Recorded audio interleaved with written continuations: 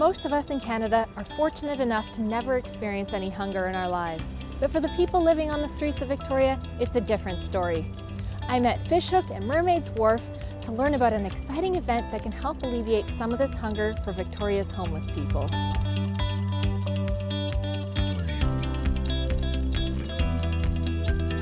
So Hungry Hearts is uh, the biggest fundraiser that we do for the year for, for our place. And it's a really special event because we get uh, all these fantastic chefs coming in and cooking up wild creations. Today I'm going to be highlighting our seafood hot pots. that kind of highlights all of the different kinds of seafood and different kind of products that we like to use. Garlic and ginger, some scallions. It's a good foundation for any dish that we make here. Oh yeah, all that flavor. I've been personally involved since the very first Hungry Hearts fundraiser. Um, it was quite successful. We managed to allow our place to feed people even on Saturdays and Sundays. For our place, we serve about anywhere from 1,600 to 1,800 meals a day.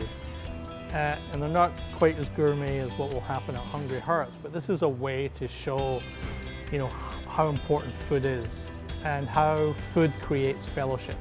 So really it's a night of fellowship and fun and, and good food. Oh my. We'll add our mussels, fresh BC mussels from Salt Spring Island. Nice. Put a little bit of homemade vindaloo sauce to get everything going. And then we'll cover this guy and let those beautiful things cook for a couple minutes. We designed it as a sort of chef competition. Uh, so it's generally like five, sometimes six chefs. And it's kind of morphed over the years. It started as like a soup and sandwich contest. And now we're kind of letting the chefs sort of run with whatever sort of small plate they'd like to. And people that buy tickets and come, they get to try all the different food and then the silent auction. Uh, I auction off a dinner for 10 every year. But I think we're thinking about doing something even bigger this year with my new location down here. Be delicious. Some prawns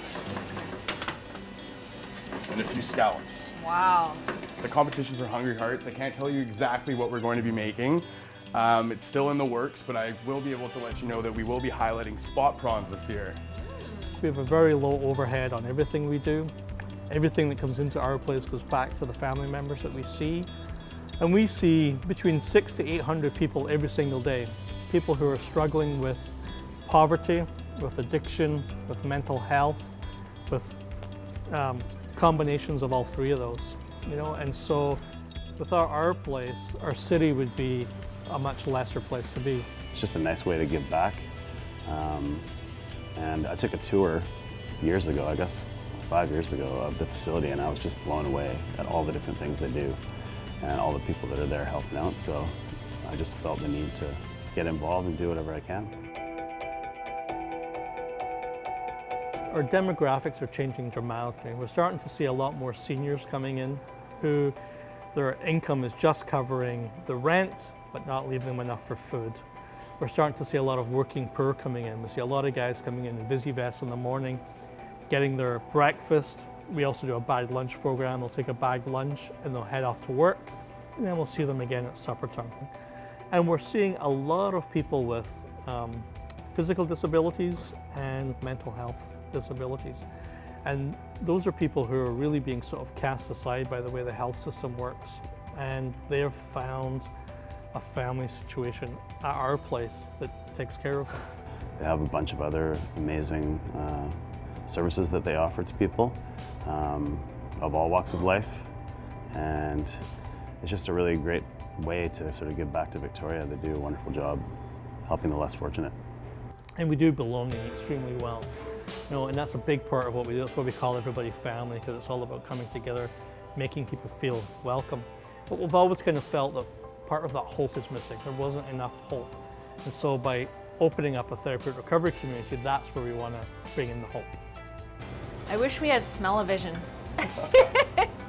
Hungry Hearts is always a fun event. The food is always fabulous. You have to go around to all the five or six stations that we have and, and try everything out and, and then you get to have a fun vote. The chefs all take it seriously because it's a competition.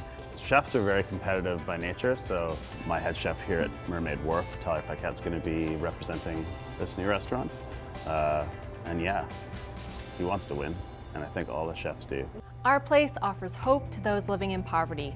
If you're interested in attending the event or donating, please check out the website. For community producers, I'm Heather Pace. And now it's time for a bite of this amazing dish. 嗯。